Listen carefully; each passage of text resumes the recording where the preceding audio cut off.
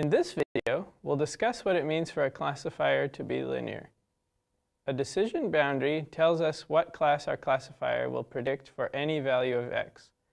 In this image, the classifier predicts the blue class in the blue shaded area, where feature 2 is small, and the red class in the red shaded area, where feature 2 is large.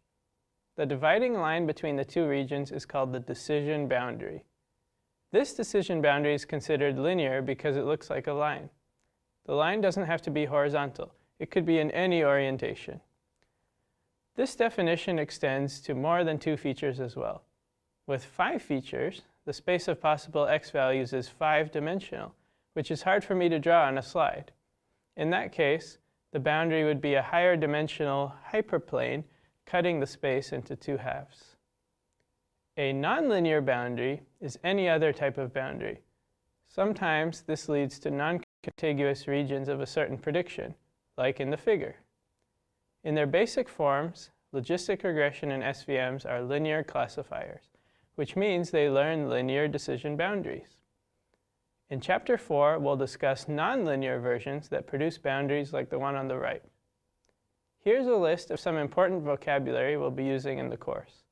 Classification is supervised learning when the y values are categories. This is in contrast with regression, where we're trying to predict a continuous value. We've defined decision boundaries and linear classifiers on the previous slide.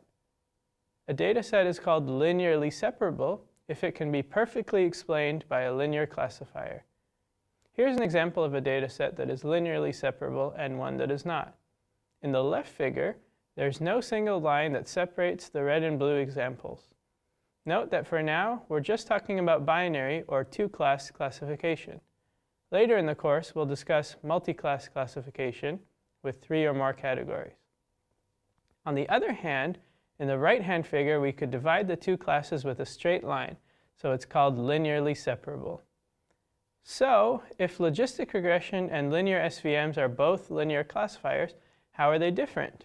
That's what Chapter 2 is all about. Let's look at some more examples of linear and nonlinear decision boundaries.